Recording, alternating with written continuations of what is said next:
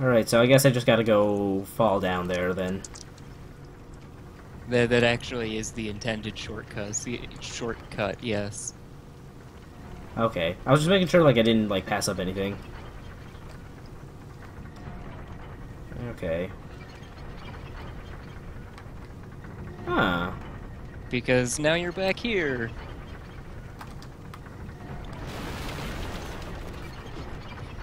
Interesting. That does not work the way you think it does. Oh. now I'm disappointed.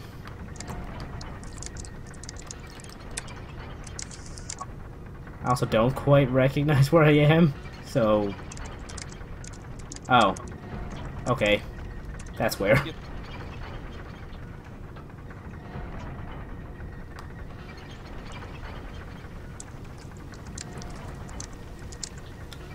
Ah, I can't turn the other vertical beams into railguns. No, it's only the uh, it's only the other one. Damn. Oh, there was a glowy here. It is it gone How did that glowy not get buried? no. Well, I got it, but like, how did it not get buried under all the sand? Uh, I thought that was water. What? Dog tours. Ring of poison resistance. Shard of hardstone.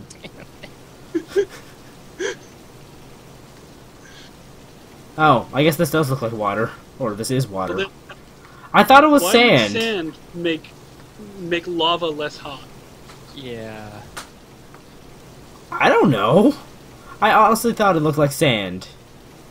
Why would sand make lava less hot? I mean, in hindsight, it wouldn't. It, it does not. Does that not look like sand? I don't know. it looks Okay, like- so there's a there's an interesting little thing about special effects with uh in in movies when they do waterfalls in miniature. Uh, real water doesn't work in miniature, so they use Mhm. salt instead. Uh, salt has the same flow characteristics that that water does, but and looks right. So that's why I'm laughing at you more than because it's utterly ridiculous that it would be sand that made lava less hot.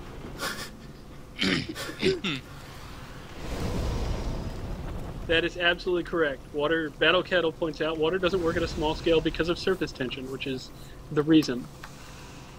Yeah. Okay. Also, I, I like uh, Jabo's theory that this is a giant flask factory.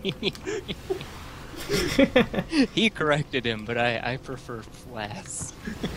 As soon as we figure out what flash is, I think it's I think it's magical cold making sand.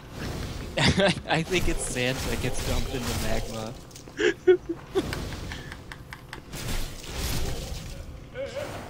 oh, it's a flask that hasn't added the K yet. the next enemy's weakness is you. You got this. I do. I was just hoping he was gonna blow himself up. No, no, he's too fat for that. No. Stone of Ephemeral No. Eyes.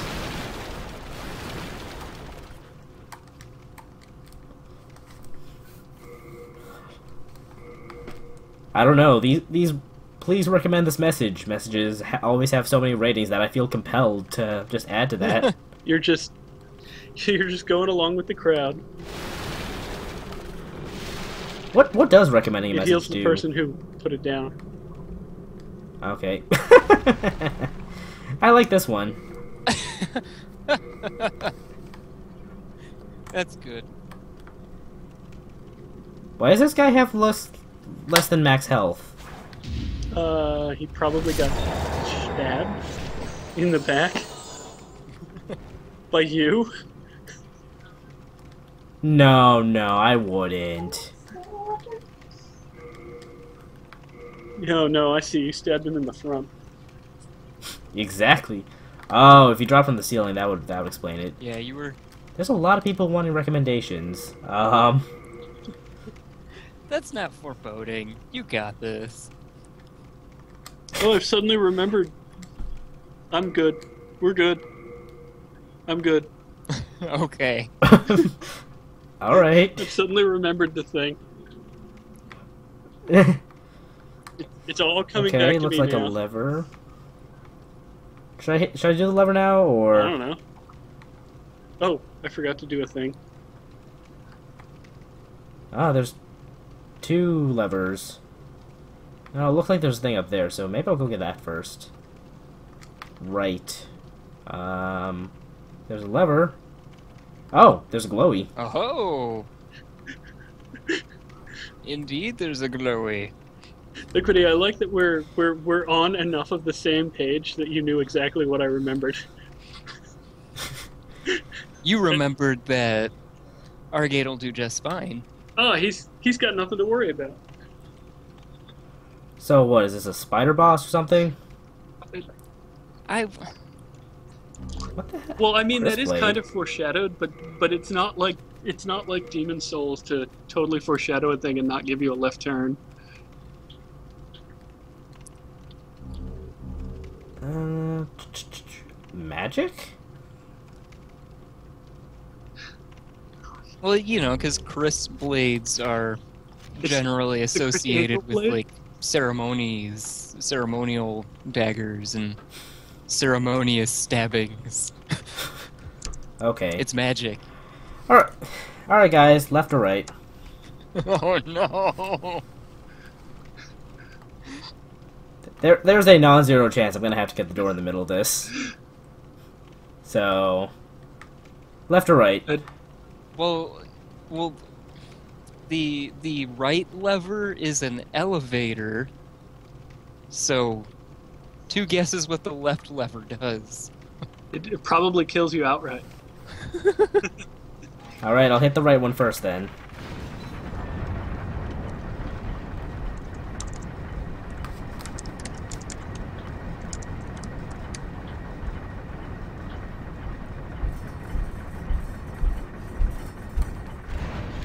Did you think there would be a hint? Did you? I would have hoped for one. Uh, yeah, now I want to know.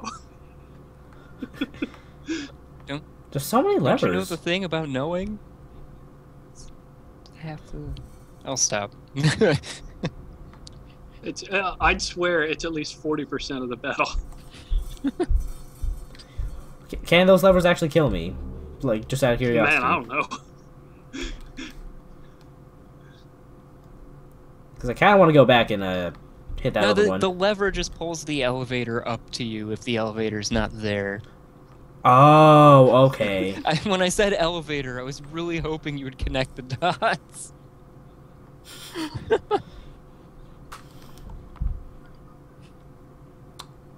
Hmm.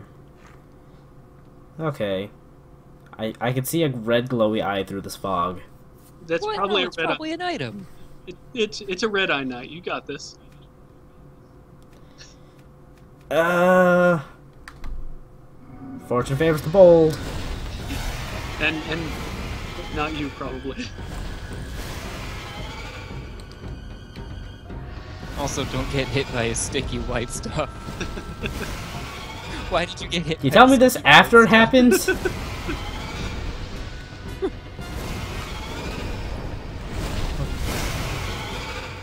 Oh man. Oh, don't get meteor. I. I'm trying. So is so have we reached the point where I can say things like, "Man, I hated this fight so much." Yeah. Also, did you find a story, Liquidy? When I was working in a deli, I was a dumbass who decided to flick a chunk of turkey off the slicer while the blade was spinning before loading on another loaf. Of course, I sliced my Mm. fingertip off. I went numb and saw my glove fill up with blood.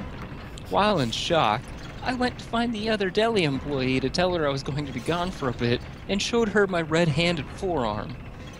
Of course, she continued to serve the customer without cleaning the slicer or even pretending to.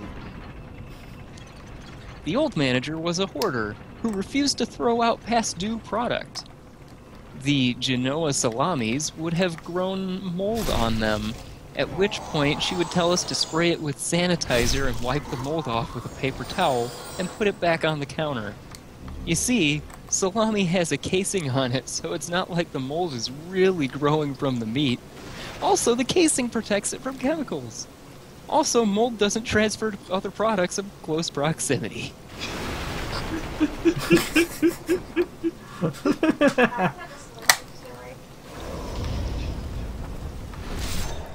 Okay, Laura, I believe you may have a deli story. Actually, not a deli salted. No? So when I was in college, of course, I, I did my stint waitressing. Um, one day, I was using our lemon slicer, and god damn it, that thing has had a bent blade on it forever. It's so fucking annoying. I'm just gonna reach in here and bend it back. Oh god, that was a terrible idea. Covered in lemon juice. Oh god. I basically sliced my thumbnail and thumb meat in half from the top. So like I notched my thumb down the center, And then lemon juice went. and then it got filled with lemon juice. Oh god. My stupidity, it was rewarded. Battle Kettle says, please don't stick your hand into malfunctioning machinery. Well, it's, it's Like it's like a machine. You stick a lemon in, and the blades are all exposed, and then you just pull in a lever. I, I know what a lemon's. Oh my god, it's gonna. No, don't no, do that. Don't do that. Okay, so how, how long ago was that? About 15 years? Uh, no. Wait that long. 12 years? Okay, so so 12 years ago, don't do that. No, it was one of those like brain just was like, I'm gonna fucking fix this, and then I was like, like before I my hand was doing it before my brain said, Oh God, you're stupid, and then I was really stupid, and then I had to wait for some. Now, Really bandaged that thumb. Now, I'm- I don't c- get sit home I can tell you- ever. I, I can tell you that I'm only marginally smarter than that, in that I would also have had the same instinct, but I would have grabbed a pair of pliers.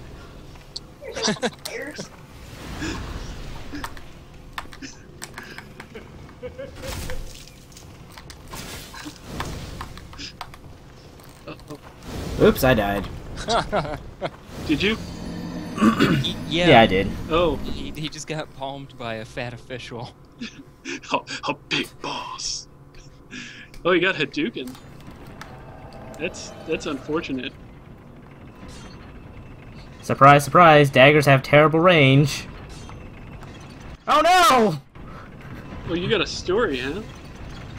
Yeah, I was, I was waiting for, uh... I was waiting for an opening. That, I guess this I is, have this now. is your opening. I got I you. used to work at a grocery store in the produce department. Cauliflower comes in boxes with the huge leaves, Oh! and you have to cut them off so they look nice on the rack. They didn't let me do the cutting until I'd been working there a couple of months. I asked why they never let me put, uh, put out cauliflower, and the assistant manager held up his hand to show me a bunch of little scars all along the side of his pinky finger. Then he called over one of the other guys who'd been there for years. He holds up his pinky to show me the same thing. I shake my head like, geez, these guys are a bunch of klutzes. So, of course, the first time they give me a box of cauliflower to cut, the serrated vegetable knife that's somehow sharper than anything while it's moving goes right through the leaf and through my fingernail and cuts the tip of my pinky finger halfway off.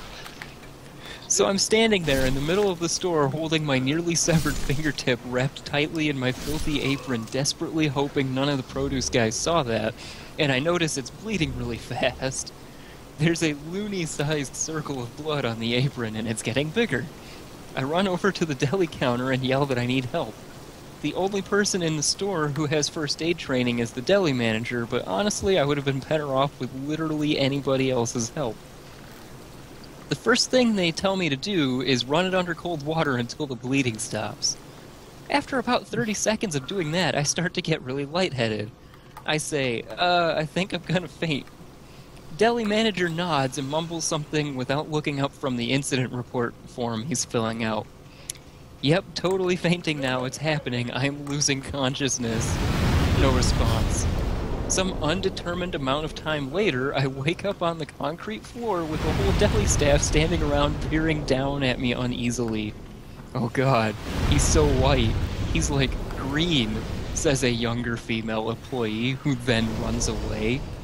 My head is pounding, and I can barely remember who I am and what a grocery store is, and my shirt is covered in blood, but miraculously my finger has stopped bleeding.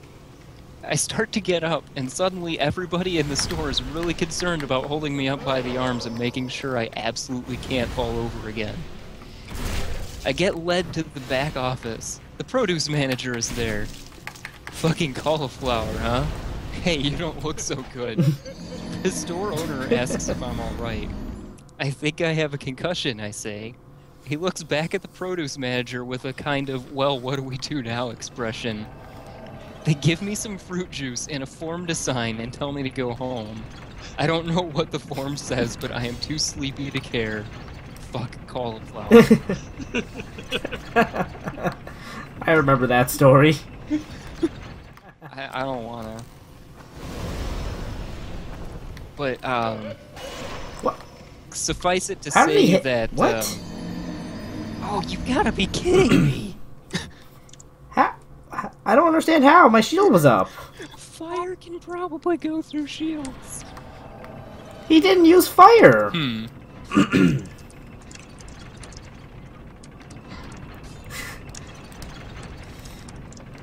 Well, look, did you, did you have a story queued up? Uh.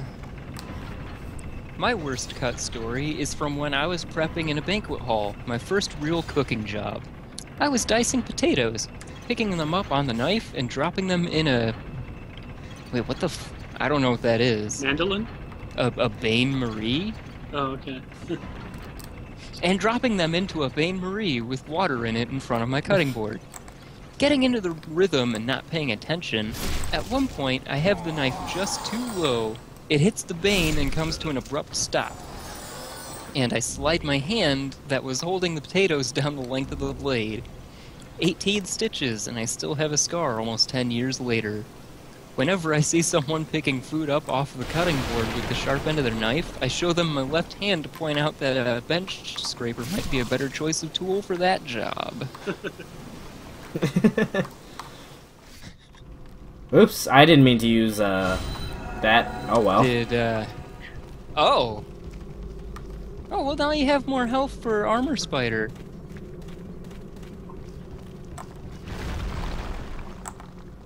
Oh yeah, he is trying to ambush me.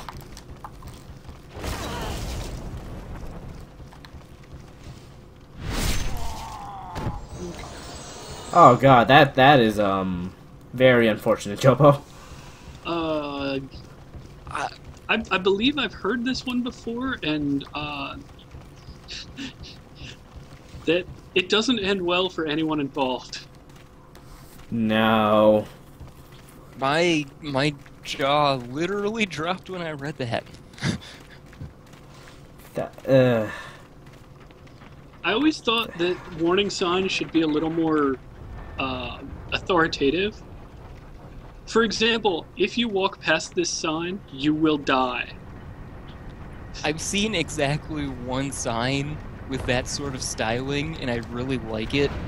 Uh, I don't know if it's a standard for railroad crossings, but there's a sign that says the, the, the general idea of the sign was uh, don't hang out on railroad tracks. If you do, you will be killed. And then it just spells killed out, like with a dot between each letter, bolded red. I, I really liked it. It's a yeah, good the sign. sign- actually, the, the signs in uh, nuclear power plants are generally pretty authoritative on that regard as well. They don't they don't spell it out. There's just a skull and a radiation symbol. Yeah. if you don't know Yeah. not to go into the into certain areas of a of a uh, of, of a nuclear power plant, then you deserve kind of what you get. I used to have a boss who uh, was the last person who will ever go to a certain specific place uh, in that in uh, in the what was it uh, Peach Peach Bottom? I think Peach Peach Bottom's the nuclear power. Yeah. Yeah, I think Peach Bottom was the one he, he worked at. Ross, my my boss at uh, at the street. Um, basically, they were they were getting ready to turn on uh, the. Fuck, I've lost my words here. They were getting ready to turn on the reactor, uh, unit number two, and they had to send a security guard in under the reactor to make sure there's no bombs or anything. Oh wow. I'm sorry. Uh, so uh, this security guard was the guy who would eventually be my boss. He, he went through there and he declared it all clear. They turned on the reactor, and then that area is not habitable for life, ever. So that's kind of cool. So, um, what am I supposed to do when he does the fire Die. thing? When he does the nuke, you're supposed to not be there. Don't. Yeah, don't. Where where is it safe to be? It's not. Not there. Certainly not there. Have you considered not being where you are? I don't know where to be. I love giving useless info.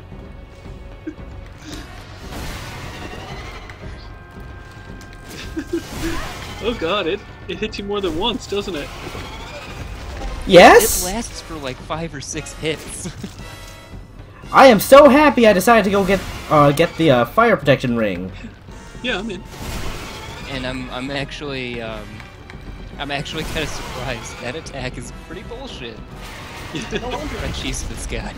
Yeah, every you can cheese this guy? there, there are two bosses in this game that I'm, I'm given to understand get cheesed constantly, and uh, this is one of them.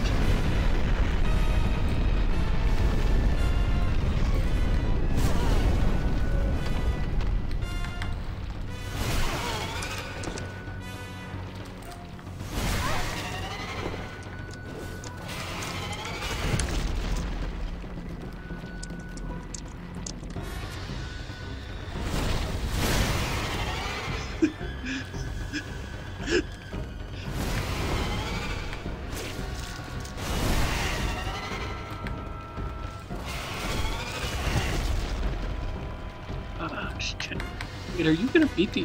He, he's looking a little like he might beat the armor spider fair and square. Yeah, I'm, I'm kind of. How do you cheese this fight? I, H- how do you cheese this fight? I want to know now because I beat the armor spider. well, uh, you know how I was asking if he had a bow and arrow earlier? You got to be kidding. There's a part of the wall on the left that uh, The armor blocks spider his basically meteors. can't hit you. Yeah. I can't believe you beat him legit. No one does that. Well, people do do that. It's just we didn't. You guys are wimps.